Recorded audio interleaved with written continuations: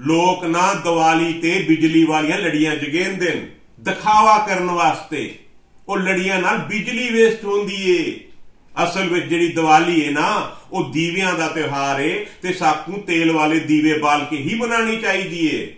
ਅਸਾਂ ਤਾਂ ਹੀ ਵਾਰੀ ਫੈਸਲਾ ਕਰ ਖਿੱਦੇ ਅਸਾਂ ਨਾ ਤਾਂ ਬਿਜਲੀ ਵਾਲੀਆਂ ਲੜੀਆਂ ਲੈਸੂ, ਨਾ ਜਗੇਸੂ। ਜਗੇਸੋ ਵੀ ਕਿਵੇਂ? ਇਹਨਾਂ ਨੇ ਬਿਜਲੀ ਦਾ ਬਿੱਲ ਹੀ ਕਿਉਂ ਨਹੀਂ ਭਰਾ ਬਿਜਲੀ ਵਾਲੇ ਕਨੈਕਸ਼ਨ ਹੀ ਕੱਟ ਗਏ। ਬੋਲੋ ਹੁਣ ਭੁੱਲੇ ਨਾ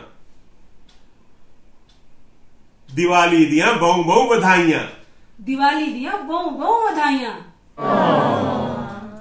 ਬਿੱਲ ਭਰ ਕੇ ਆਓ ਭਰਾ ਨਾ ਤੇ ਜੇ ਤੁਹਾਡੇ ਘਰੇ ਕਨੈਕਸ਼ਨ ਹੈ ਨਾ ਤੁਸੀਂ ਲੜੀਆਂ ਜਗਾ ਦਿੰਦਣਾ ਵੀਂਦਾ ਪਿਆ